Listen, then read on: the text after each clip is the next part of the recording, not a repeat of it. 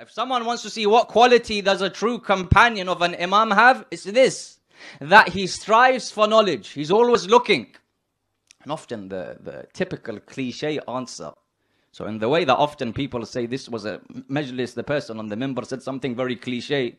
We also know cliche things that you do. So in the way that you say that we do things very cliche and typical, often people do the same thing.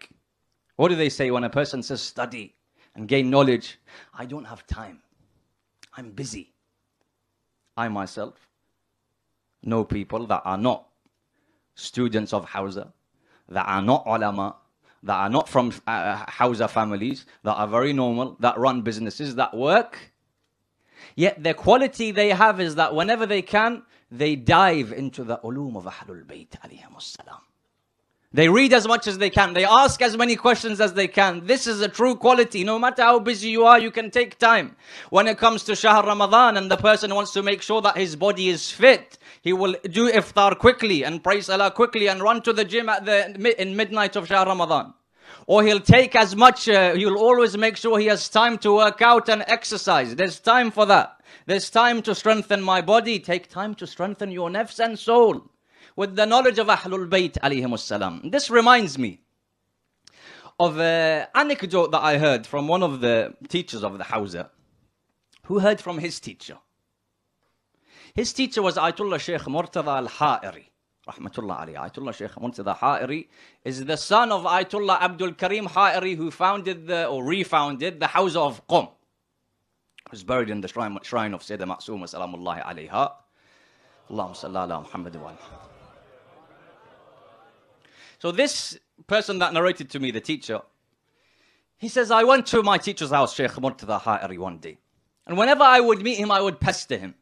Because I could see that from Zahir and Batin, from outside and inside, this person has certain spiritual qualities that I was 100% certain that this person must have met Sahib Zaman at least once in his life. So whenever I would meet him, I would ask. And he would tell me, go away and go study. Do you have nothing better to do? He'd Tell me to go. Till one day I came to his house in the afternoon and I said, Tell me, there must have been one occasion. Increase my iman, tell me.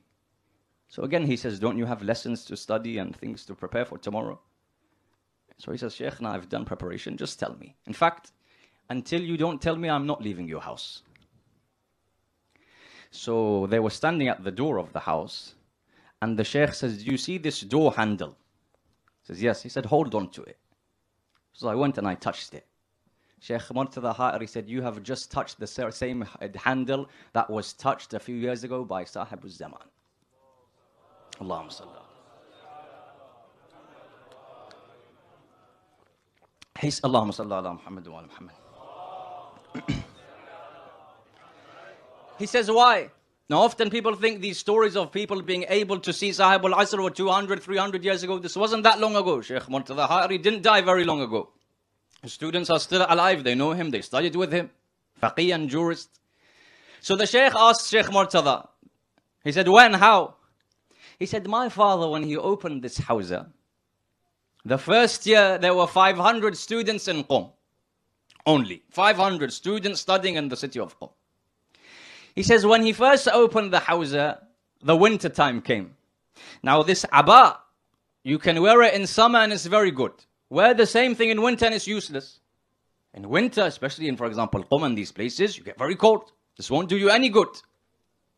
So they come to him, these a few students, and they complain. They said, look, we have no money. We have no wealth.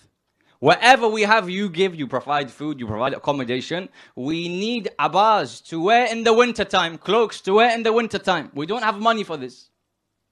So Sheikh Abdul Karim Ha'iri says, no problem. Come to me in two, three days, and I will have 500 abas ready to distribute to all of the students of Qum. So Sheikh Murtada is the son. As soon as his father said this, Sheikh Murtada comes and says, Dad, Maybe he didn't say that. Father Sheikh Nahajaga. He said, We've got no money at home. At home, the money that you use to uh, allow the house to run, we've got no money. How did you promise these people? So he didn't reply. Sheikh Murtada says, in our house, every single night my father would pray Salatul Layl, as is the, the practice of awliya of God and those people that are close to Allah subhanahu wa ta'ala. He says, the night before he has to give those abba, we've got nothing at the house. Instead of praying his Salatul Layl in his room, he would come out into the courtyard. He would undo a few of his buttons. He would roll up his sleeves. There's certain etiquettes of certain dua that a person does in his last moments when he's got no other option.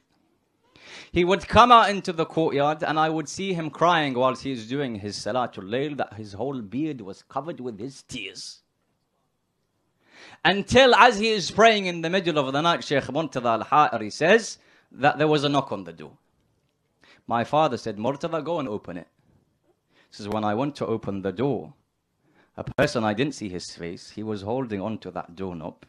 He says, Sheikh Abdul Karim, I had given you the command to open the hawza, but to take care of the students of religion is my responsibility.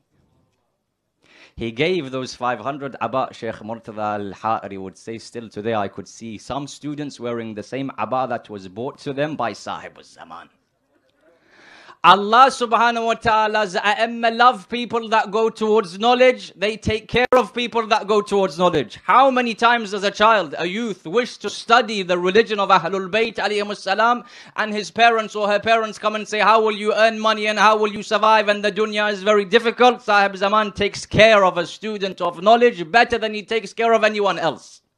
In addition to that, when we speak about these people, their thirst for knowledge, we're not just talking about people that go to Hawza and study. Every single person should be someone that drinks from the fountain of ilm of Ahlul Bayt. That constantly asks questions, that delves into what they gave us, that asks the ulama. If you have someone that you ask, he doesn't know the answer, he can go and ask someone else to fulfill your life with and enrich your life with ulum of Ahlul Bayt.